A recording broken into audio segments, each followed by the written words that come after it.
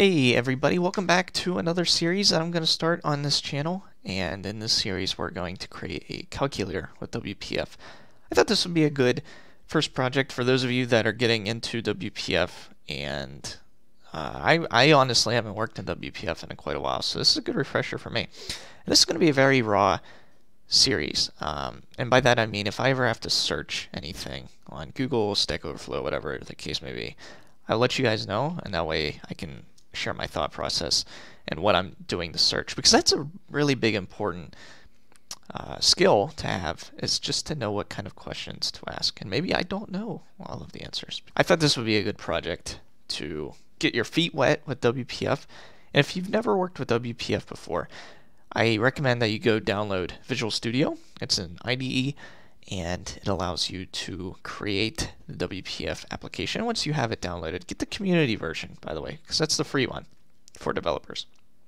But once you have it, you should be able to search up this guy, Visual Studio Installer. Okay. by the way, don't forget to hit subscribe so you can follow along. And uh, hopefully I remember to put these on a playlist as I go.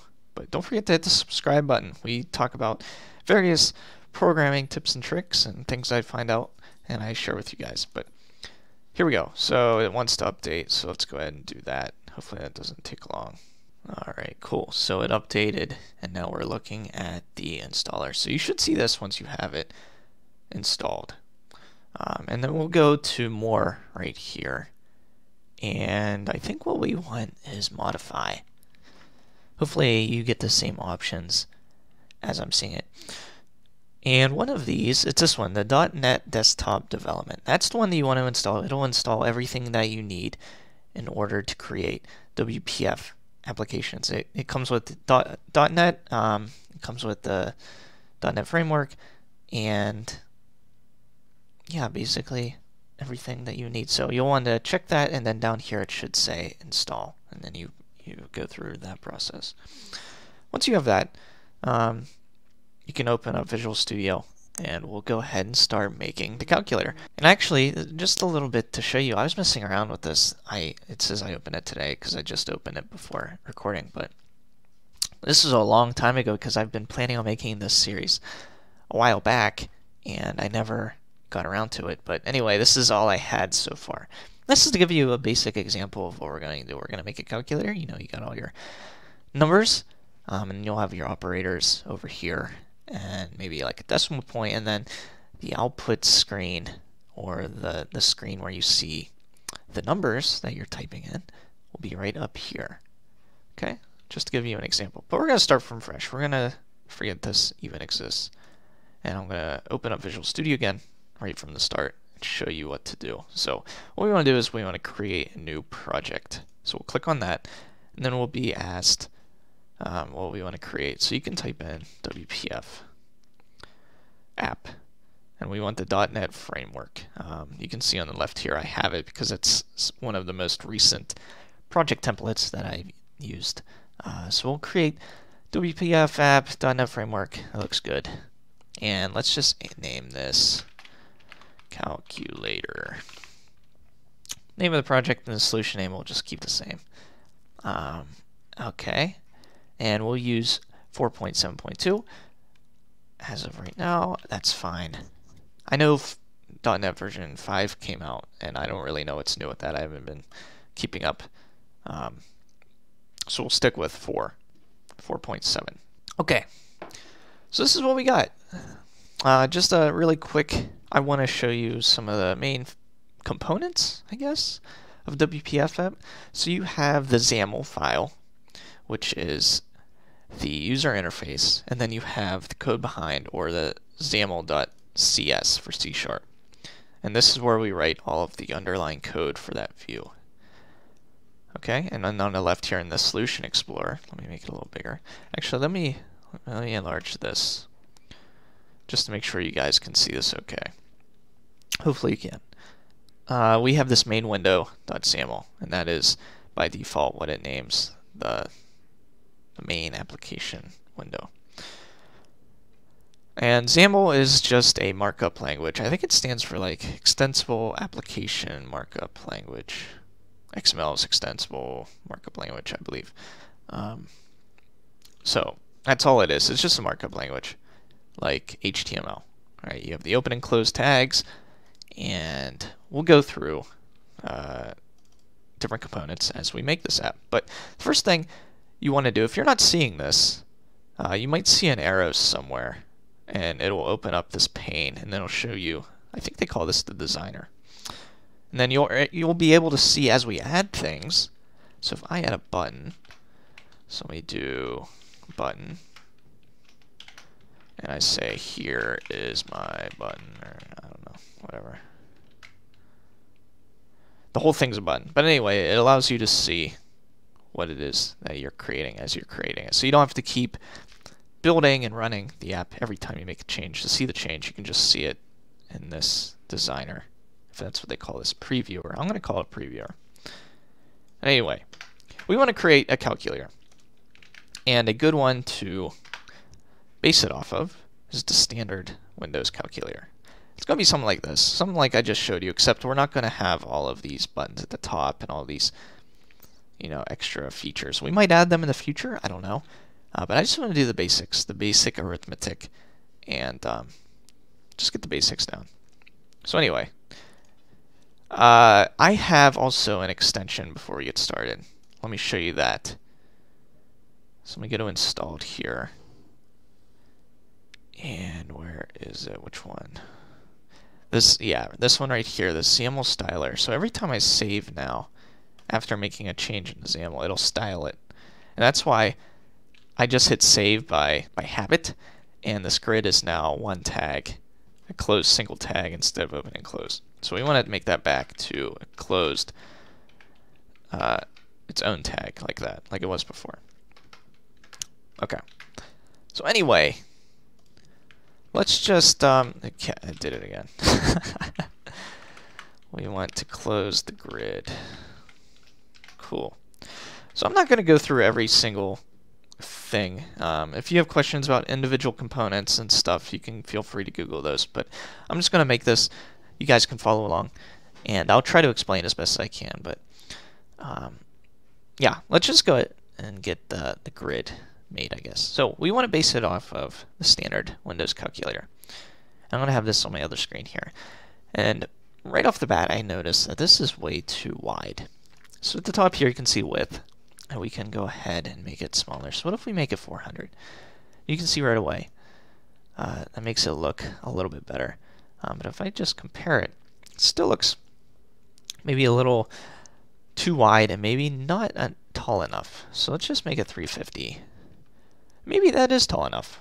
You know, this is something that we can play around with, um, and you can play around with, and just get to know all of the different settings. I hit save again, and you can see that just did it. I need to stop hitting save. It's a habit. Okay, so let's just keep the size. Let's keep it at 350 width and 450 height. And now we have to think about how we are going to lay out our buttons. And I'm going to use this grid that they already had here for us. And I'm going to make rows and I think the first row is just going to be this output part. Okay, so we're going to do grid, ugh, if I can type, grid dot row definitions. And inside of that is where we declare each one of the rows. So how high, or what's the height of each one of these rows, and how many rows total are there? So inside of the row definitions tag, we want the row definition. I'm not going to make this open and close tag. I'm just going to make it a single close tag. And the only attribute I care about is the height. And this, you might want to do some math. You're like, you might want to plan a bit ahead. But I just like to make it and alter it as needed. But if you wanted to, you could say, okay, we know the height's 450. Um, how many rows is there going to be? There's going to be at least four for the numbers, and then one for the outputs of five total. Maybe you want the output a little bit bigger, than the numbers. And you can manipulate the numbers on like a piece of paper or something and figure out how high you want them to be. But I'm just going to make this 100 and then I'll play with these numbers, you know, as I see fit. Okay, and so that's going to be the first row. And then we'll make another row definition uh, for the numbers. And these are all going to be the same uh, height, right? So let's do height. And let's think, okay, so the height um, it's already down to 350 because we used 100 for the output. And maybe we want a little bit of margin at the top. We don't want it right at the top. We want to give it a little spacing. So let's just say, oh, what's 7 times 4 is 28, so 280. Let's just do 70 for each one. And then what I'll do is I'll put my cursor right here at the uh, at the edge here. Or really, you can put it anywhere. And I'll hit Control C.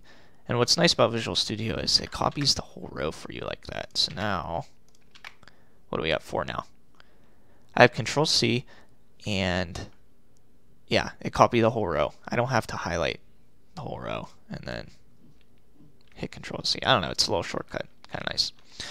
So each one of these is going to be a number. So actually, I'm going to make a comment.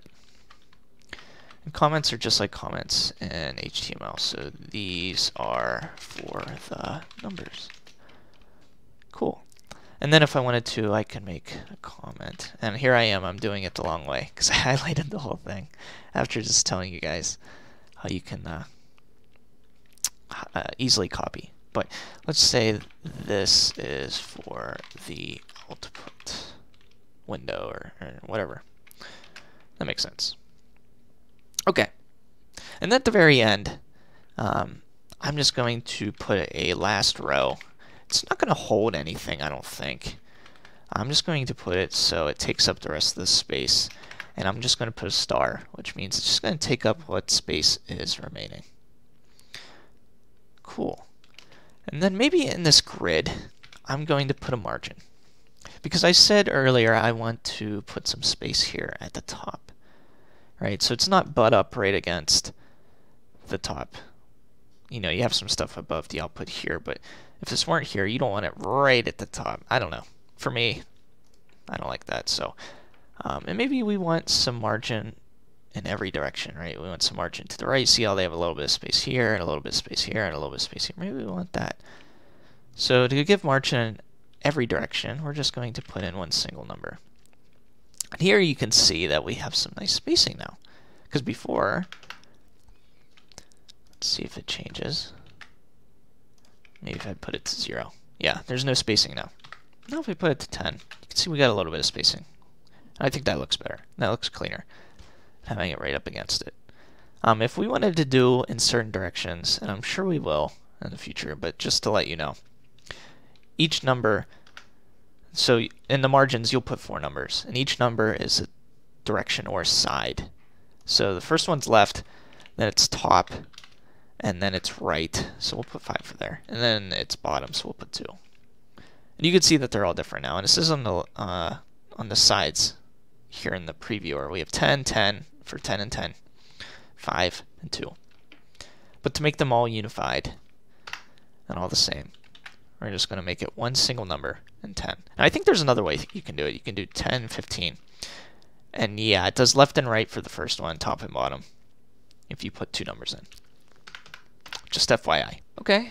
Uh, and next, we need to make the columns. So that, that raises another question. How big do we want these columns? And these might be more mathematical, because for the output, these are all going to be in the same we're going to merge these columns together, I guess, is what I want to say. And it's not going to be columnized, if that's a word, in the output. It's going to be one single bar. But the, the buttons, they are going to have columns, right? Because over here we have four columns of buttons. So that's what I want to do here. So I'm going to do grid.column definitions. And inside we're going to have our column definition. Instead of height, it's going to take in an attribute of width. And here's where you got to think, okay, well, we have 10 and 10 on both sides. There goes 20 pixels already. Uh, so we're at 330. What's 330 divided by 4? Well, let's find out. 330 divided by 4. It's 82.5. So what if we do that? 82.5. Cool. That looks good, I guess. So what I'll do is I'll just copy that and paste it a few more times. There we go. And I'll clean that up. Let's save. That looks a little better, I guess, right? So each one of these squares is a button. We have this extra space at the bottom. And then the output will be up here. Does that look good? I think so.